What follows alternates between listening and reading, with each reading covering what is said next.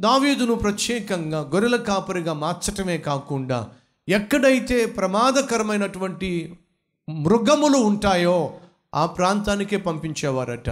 నువ్వు వెళ్ళి పలానా చోట గొర్రెలు కాయ్ వాటిని తీసుకెళ్ళు అని పంపించేవారట. ఆ పలానా ప్రాంతంలో సింహాలు ఉండేవట ఎలుగుబంటులు ఉండేవట. ప్రమాదకరమైనటువంటి మృగాలు ఆ ప్రాంతంలో ఉంటే అక్కడికే దావీదును పంపించేవారట. కారణం ఏమిటంటే అలాగైనా దావీదు చస్తాడని. కానీ అక్కడ దావీదు చేసిందని తెలుసా? ప్రాక్టీస్ చేశాడు. ఏమిటి ప్రాక్టీస్?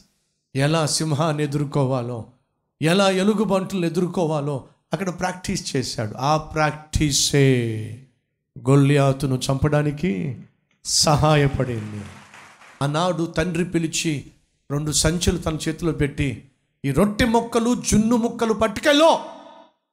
అని అన్నప్పుడు దావీద్ అనొచ్చు నేను వెళ్ళను నాన్న. ప్రతిసారి నాకే పని చెప్తున్నావు. అన్ని పనులు నాకే చెప్తున్నావు. నేను చేయను నాన్న.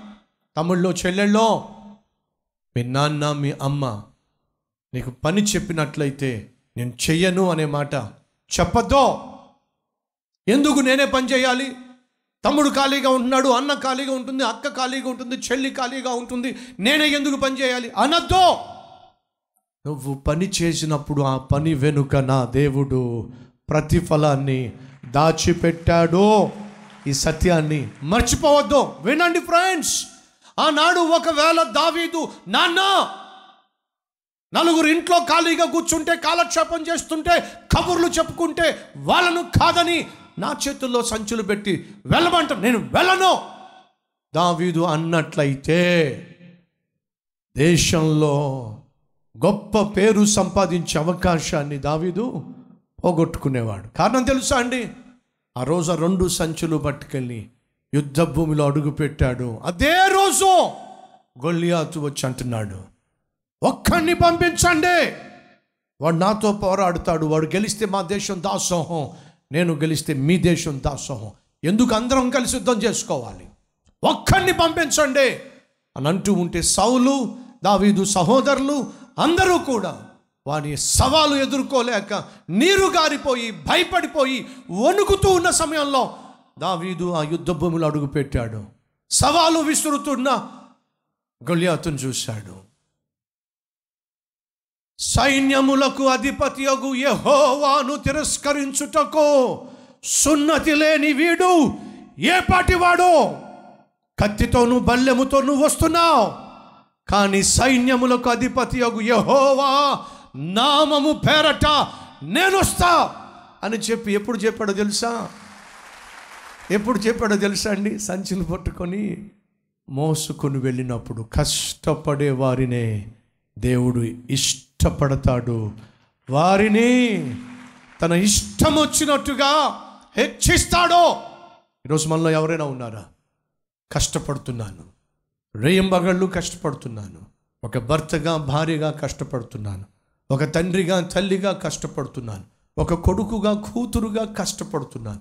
నా కష్టాన్ని ఎవరు గుర్తించటం లేదు. దావీదు కష్టాన్ని ఎవరు గుర్తించారు చెప్పండి? ఎవరు గుర్తించలేదు.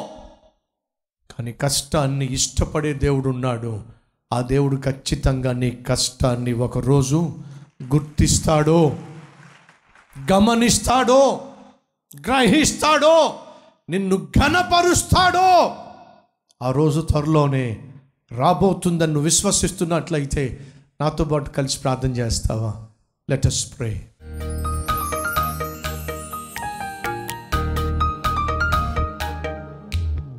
మహాపరిశుద్ధుడు అయిన ప్రేమ కలిగిన తండ్రి దివ్యమైన నీ వాక్యము ద్వారా దీనులమైన మాతో మాట్లాడి మా జీవితాలను ధన్యకరంగా మార్చుటకు ఇష్టపడుతున్నందుకు స్థుతులు స్తోత్రాలు చెల్లిస్తున్నాను నాయన. నీ సన్నిధిలో ప్రభువా కన్నీళ్ళు మున్నీళ్ళ ఏడుస్తున్నా. నీ బిడ్డలను దర్శించి వారి కష్టాన్ని గమనించి వారి కన్నీటిని తుడిచి నాయన వెలివేతకు మీ యొక్క జవాబును అద్భుతంగా ఆశీర్వాదకరంగా ఆశ్చర్యకరంగా నాయన అనుగ్రహించి. దీనులను పట్టించుకునే దేవుడు ఉన్నాడో దరిద్రులను పట్టించుకునే దేవుడు ఉన్నాడో అని మేము విశ్వసించినట్టుగా. నాయన ఈరోజు నీ సన్నిధిలో దావీదు వలే లోబడే తత్వాన్ని కలిగి కష్టపడే వ్యక్తిత్వాన్ని కలిగి అన్నిటినీ భరిస్తూనే సహిస్తూనే నిరుత్సాహపడక ముందుకు సాగే అద్భుతమైన ఆత్మీయతను కలిగి నాయనా కుమారులు కుమార్తెలు తమ తల్లికి తండ్రికి ఎదురు తిరక్క. నేనెందుకు నీ మాట వినాలి?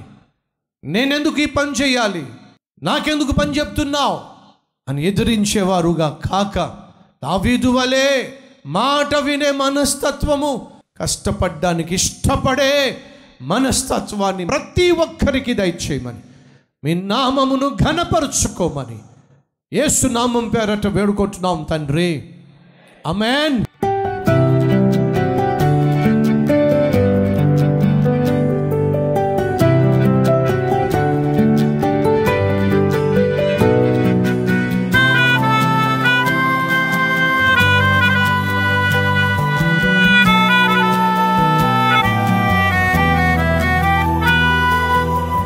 ఏ ఫ్రెండ్స్ ఈరోజు అందించిన ఈ క్లుప్త సందేశం మీకు నిజంగా ఆశీర్వాదకరంగా ఉంటే లైక్ చేయండి పది మందికి షేర్ చేయండి.